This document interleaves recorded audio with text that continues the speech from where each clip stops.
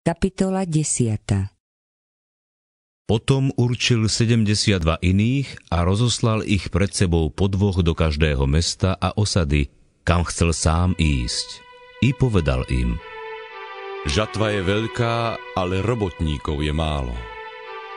Preto proste pána žatvy, aby poslal robotníkov na svoju žatvu. Chodte. Hľa, posielam vás ako baránkov medzi vlkov. Neberte si mešec, ani kapsu, ani obú Cestou sa pri pozdrave s nikým nezdržujte. Keď vojdete do niektorého domu, najprv povedzte pokoj tomuto domu. Ak tam bude syn pokoja, spočinie na ňom váš pokoj. Ak nie, vráti sa k vám. Zostaňte potom v onom dome. Jedzte a pite, čo majú, lebo robotník je hoden svojej mzdy. Nechoďte z domu do domu, keď vojdete do ktoréhokoľvek domu a príjmú vás, jedzte, čo vám predložia. Tam uzdravujte chorých a hlásajte im. Priblížilo sa k vám Božie kráľovstvo. Ak prídete do niektorého mesta a nepríjmú vás, výjdite do jeho ulic a vyhláste. Striasame na vás aj prach, čo sa nám vo vašom meste prilepil na nohy. Vedzte však, že sa priblížilo Božie kráľovstvo. Hovorím vám, že Sodomčanom bude vonen deň ľahšie ako tomu mestu.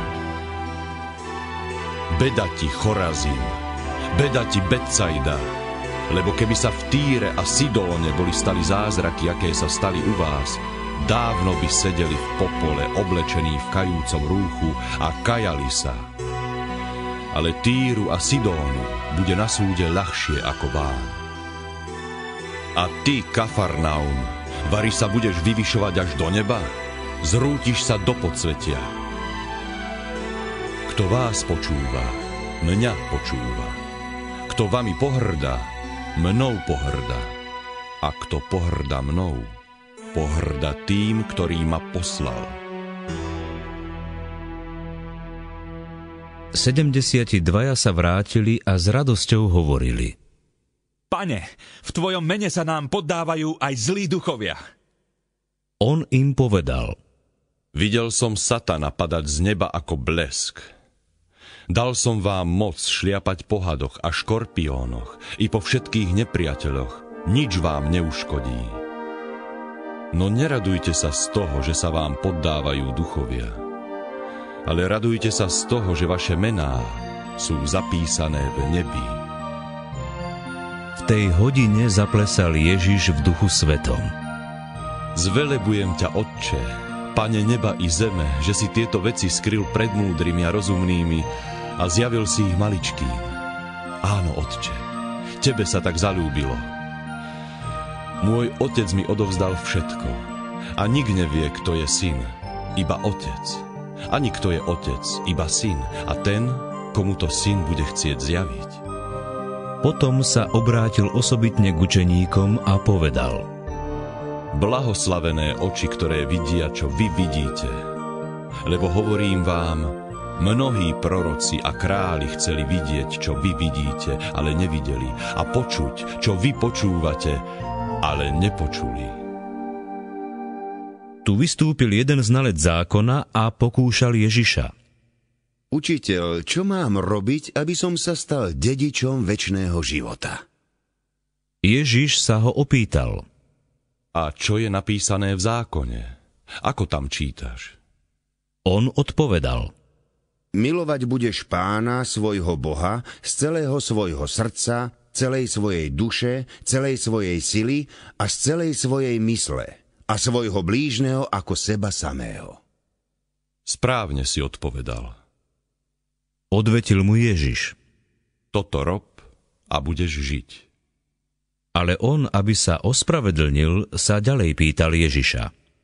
A kto je môj blížny? Na to Ježiš začal rozprávať. Istý človek zostupoval z Jeruzalema do Jericha a dostal sa do rúk zbojníkov. Tí ho ozbíjali, doráňali, nechali ho polomrtvého a odišli. Náhodou šiel tou cestou kňaz, ktorý ho síce videl, no obišiel ho. Takisto aj Levita, keď prišiel na to miesto a uvidel ho, obišiel ho. No prišiel k nemu aj istý pocestný, Samaritán. Keď ho uvidel, prišlo mu ho ľúto. Pristúpil k nemu, nalial mu na rany olej a víno a obviazal a postaral sa o neho.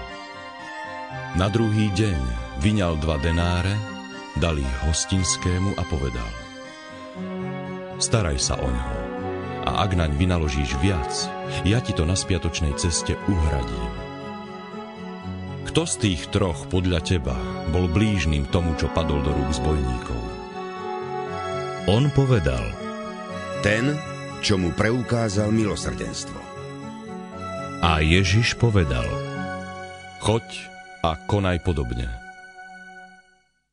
Ako tak išli, vošiel do jednej dediny, kde ho prijala do domu istá žena menom Marta. Mala sestru, ktorá sa volala Mária. Tá si sadla pánovi k nohám a počúvala jeho slová. Marta však mala plné ruky práce s obsluhou. Zrazu zastala a povedala.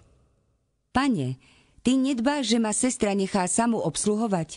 Povedz jej, aby mi pomohla. Pán jej však riekol. Marta, Marta, staráš sa a znepokojuješ pre mnohé veci. Len jedno je potrebné. Mária si vybrala lepší podiel, ktorý jej nik nevezme.